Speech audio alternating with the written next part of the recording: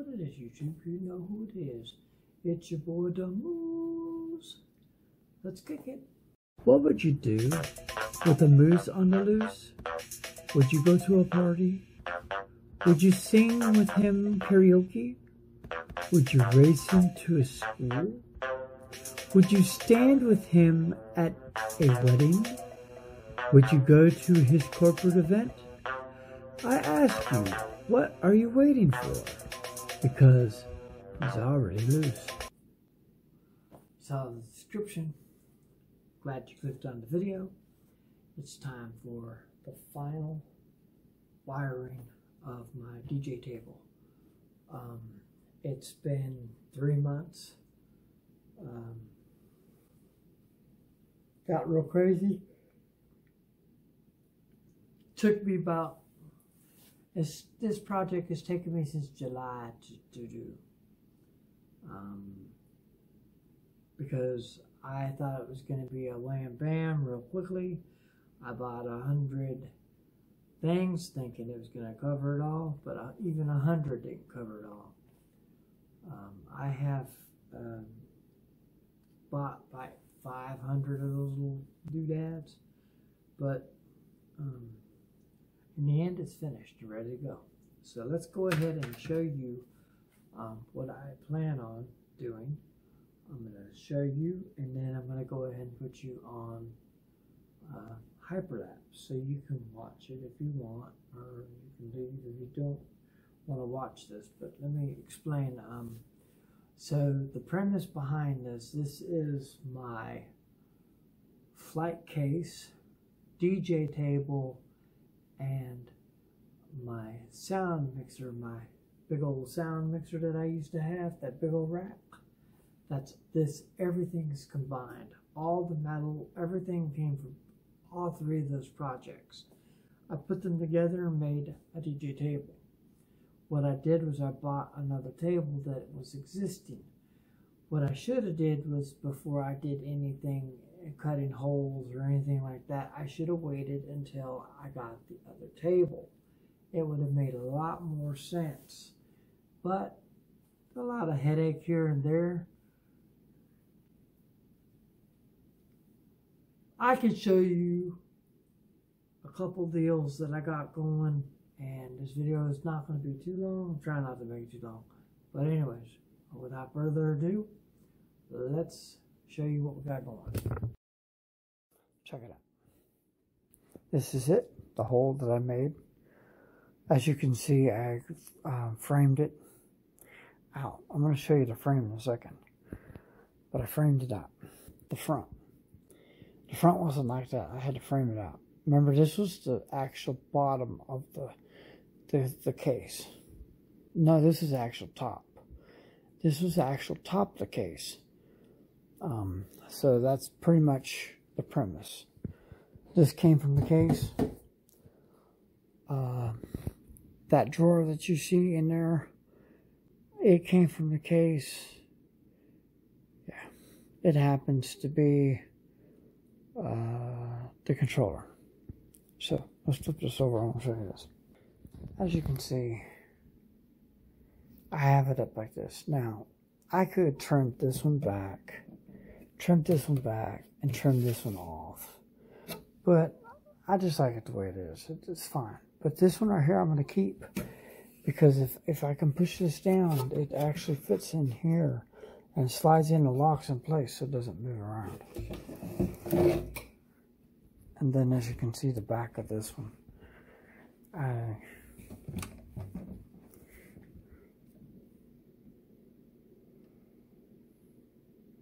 that's pretty much in a nutshell. Oh, let me come over here and show you this. So as you can see, here's the three holes here where the the um t the stand was, and then this little hole right here is where the stand was, and so was that, and so on and so on. So this is basically the first table. This is the table that I almost finished. I had to fix it up, but as you can see, I put everything on about. I got the. Let me walk you through this, so you know. The right, the left speakers, XLR the main power. This happens to be for the whole unit. Oh, no, no, this is for my speakers. Power to speakers. This is my HDMI pastor. Oh, excuse me, my HDMI pastor. Here's my electrical. Um, the blue, that's my electric. Um, uh, it's running two, 220, that and one, one, one, between 120 and 240 is what that can run. And then right here is my sub for my um, sub. As you can see, it's just a sub. I got a sub sub plug. And then plug it right in and be done. And then that's pretty much it. And as you can see, um, this is riding pretty well. As you can see, this works really well. That's sealed in pretty good. So anyways, that being said. That being said, now, okay, so this is the deal. Um, when I went to, um, I had all the gear that I was carrying around. Um, I basically couldn't fit it in the small car. Um, I basically would have to leave the sub home um, just to take, take the rack. And to take the rack, then I'd have to leave the sub home. So it would just be, it would just be vice versa. So basically, my setup now will fit in a small car. Um, the rack is basically the DJ table. Um, in a nutshell, it has everything in it. Now, at beginning, that small piece, the premise was put the microphone set up and put the and put the um, the power in there. So I tried that. I did that and it didn't. So I cut the holes and I put it in there and it looked good. It, it, and I tried that and I didn't like it because of the fact that I still faced with all the wiring. The wiring is what has been driving me to try to condense my setup. So then I looked and I saw potential. So the table itself is the DJ table, the DJ rack, and a DJ controller all in one. Now, at first, I wanted to use the sliding, the, the, the sliding um, thing. I got rid of that because I didn't want the sliding rack. This, oh, excuse me. I wanted more space between the controller and and the the laptop. So that's why I put the laptop stand in there instead of it because the Roland 505 has buttons all the way into the back. And when you, have to literally push that thing almost off the edge. And I didn't like that. So that's why I got rid of that purpose. Because I can't physically, my hands are too big to go between there and there to push the buttons to get the to the um, to the Roland 505's TS um, the TS the drum machine.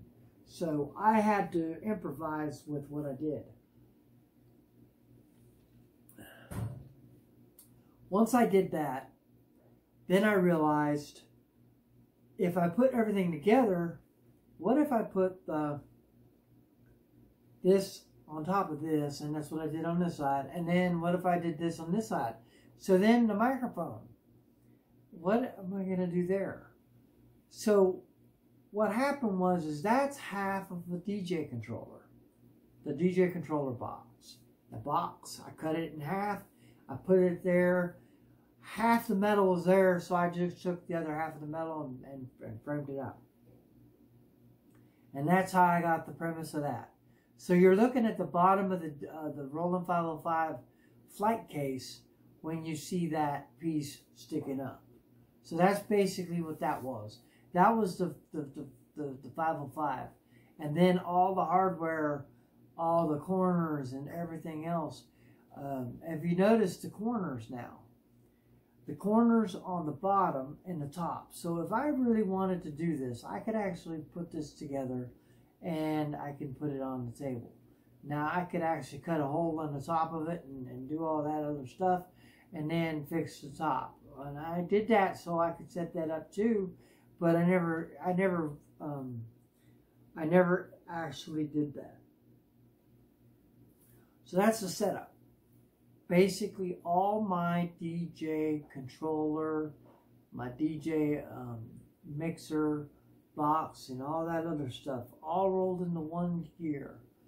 Now, the only purpose to set this off was I needed to buy another table. So I went back to where I bought the original table. Now, the original table I bought was $145. I bought the table again for $190. It went up 50 bucks almost.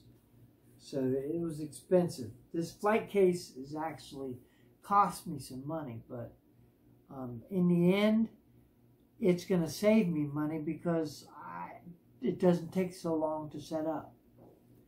Um, because when you have a window of a, an hour at a gig, it's not going to be, it's going to suck having to do everything and then set it up and then be done with it. So that's why I did what I did because um, situations like the situation coming up, um, I only have an hour to set up.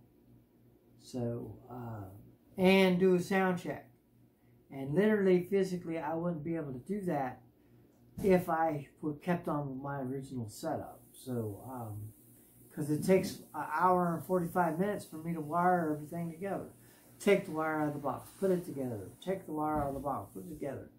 And then by the time I was done piecemealing the wire together, it was time to go home. And you know what happens when you go home when you got all that wire. You're not sitting there trying to roll the wire up and, and do that. Instead, it takes you four hours at home to, to get everything untangled out of a knot. So that's basically the premise of the setup. It's so I don't have to go home and worry about uh, taking everything out of the box and trying to redo it. And then another thing I didn't like about the the um, the case um, that the sound was in is every time I pulled the wire out, I'd have to redo it and reset it and re-get it all out so I'd be able to do it and, and do it that way. This, everything's plugged into one thing. Everything's plugged in all together and it comes out with one wire coming out to power. The speakers has its own power because I want to make sure that the speakers are washed through and trust me, if I didn't, you would really hear it. You could hear it, but you could really hear it if I did it if I didn't wash it through. So that's pretty much the synopsis of what's going on. Uh, go ahead and subscribe to my channel. Um, go ahead and ring that bell for more notifications for videos like this and countless others. smash that like button. And go ahead and peace out.